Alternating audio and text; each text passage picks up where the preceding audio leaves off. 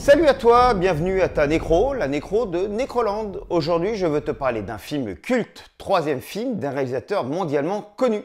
Le film s'appelle Dead Alive, Brain Dead en français. Il a été réalisé par Peter Jackson en 1992.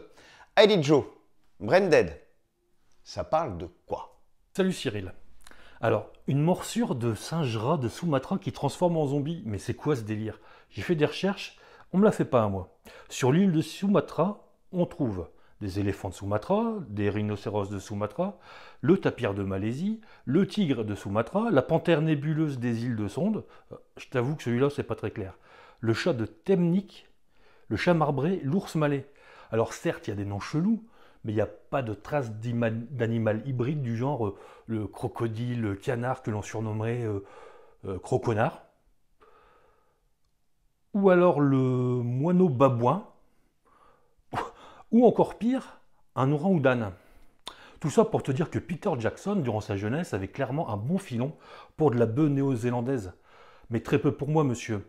Par chance, il a calmé sa consommation et nous a offert depuis une trilogie avec des elfes, des nains, des arbres qui parlent, puis un film avec un gorille de 40 mètres de haut. Ouais, en fait... Euh, euh, perso, pourquoi je suis toujours surpris par les conneries que tu me dis tu vois? On a le personnel qu'on mérite, mais là, ça dépasse l'entendement. Donc, j'en te reparle après, parce que là, c'est pas possible. Euh, là, je suis au bout de ma vie.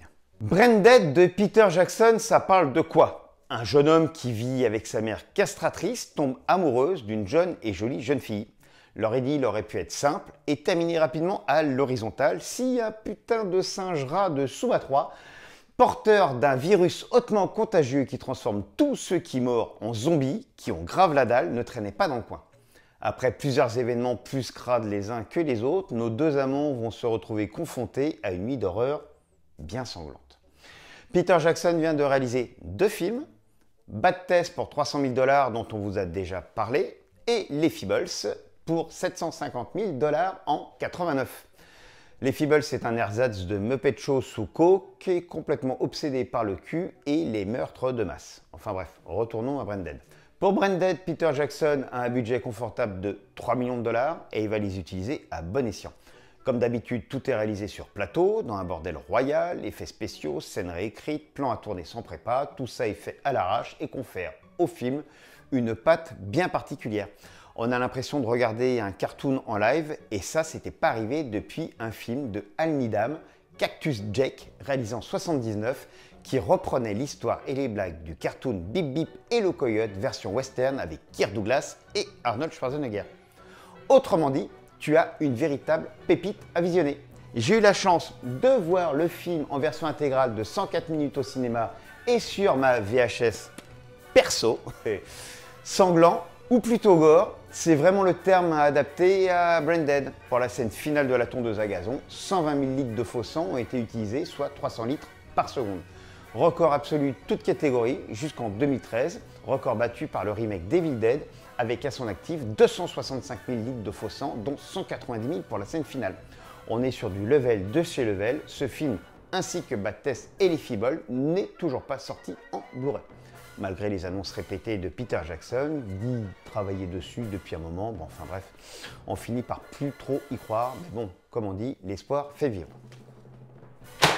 Donc, si tu aimes les films gastronomiques, si tu aimes les films de Jean-Claude Van Damme. Si tu aimes les films avec des charbons bambins.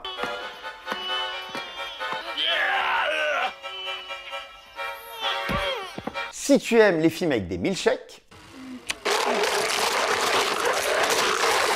Si tu aimes les films de jardinage. Ce film est fait pour toi. Prochaine nécro la prochaine fois. D'ici là, porte-quoi bien et sors couvert. Ciao, ciao